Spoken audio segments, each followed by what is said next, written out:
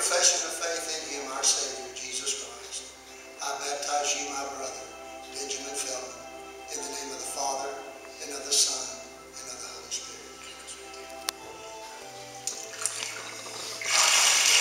the Holy Spirit. Amen. Amen.